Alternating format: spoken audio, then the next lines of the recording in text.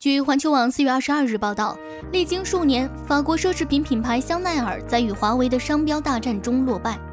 二零一七年，华为向欧盟知识产权办公室提出申请，为旗下电脑硬件商标申请注册保护。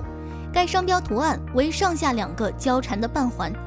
香奈儿方面称，华为这个商标设计与香奈儿在法国注册的商标及横向交缠的两个半环的设计有相似之处。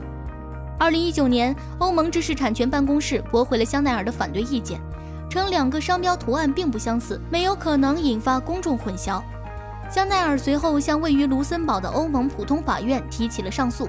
当地时间二零二一年四月二十一日，法院判决驳回上诉。法院裁决称，香奈儿的商标曲线更圆滑，线条更粗，方向是水平的，而华为商标是垂直的。因此，欧盟普通法院得出的结论是，二者存在差异。香奈儿方面很可能就此事再向欧盟最高法院提出上诉。近年来，华为在通信领域申请了大量的专利。